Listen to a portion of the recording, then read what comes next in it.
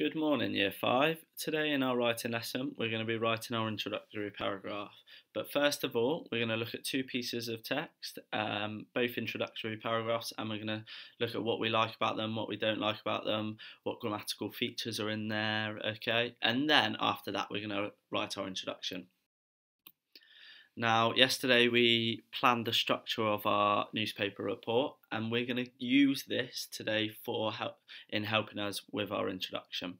So, in my introduction, my plan, what I put was who we're going to be talking about. We're going to be talking about bees, why they're important to us, and the decline of honeybees in the UK. So, I have written two pieces of writing here. Both can be introductory paragraphs, okay, and I'm going to read them out to us. The first one. Amazingly, in the UK, there has been a decrease in bee population. I think this is because of pesticides and farming. This is bad as bees are very important. They have lots of qualities like pollinating plants, making beeswax and honey, and vibrant colours on their backs. Okay, and the second one goes There's a worrying buzz going around Hundred Acre Wood, and Winnie the Pooh isn't happy. He's just heard that his favourite food, honey, could be running out. Britain's honeybees are dying at an alarming rate. Throughout centuries, these invaluable insects have played an integral role in regulating our ecosystem. So, why is it that they are on decline?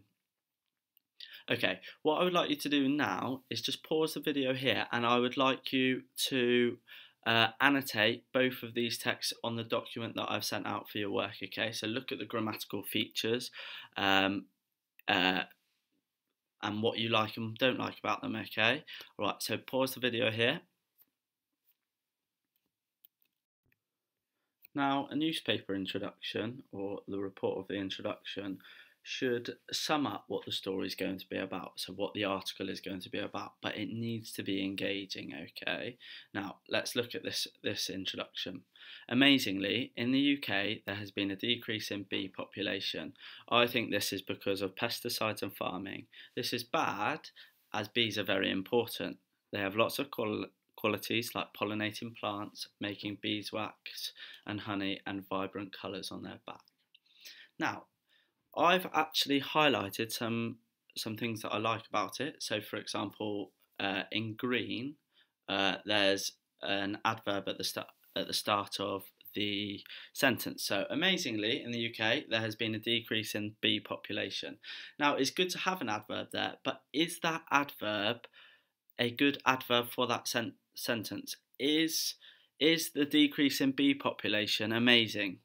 It's not. I think that we could have a different adverb. Okay, so you could start it off with shockingly, in the UK, there has been a decrease in bee population. Okay, because that sentence is more shocking than it is amazing.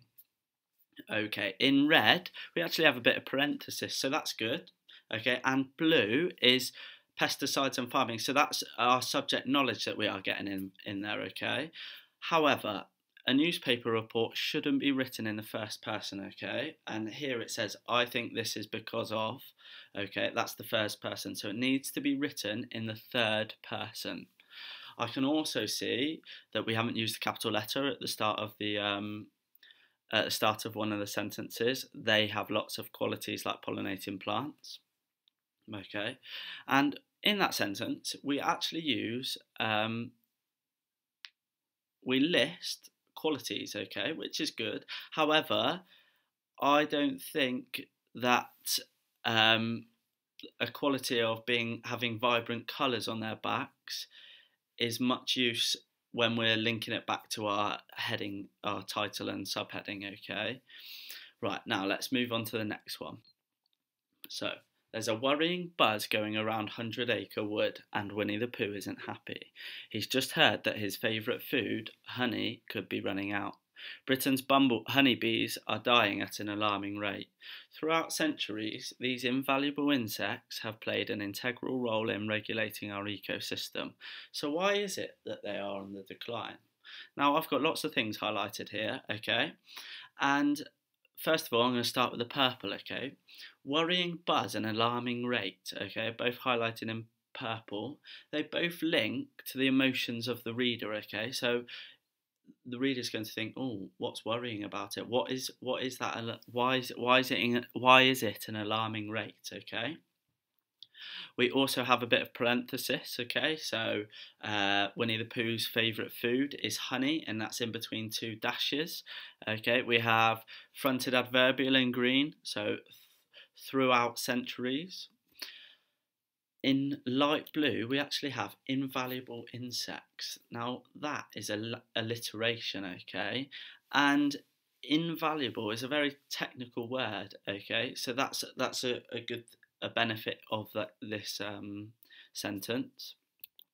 Again, last of all, in blue and yellow. In dark blue, we have subject knowledge. Okay, so we have lots um, and uh, bees play an integral role in regulating our ecosystem. And last of all, in yellow at the end, we have a rhetorical question.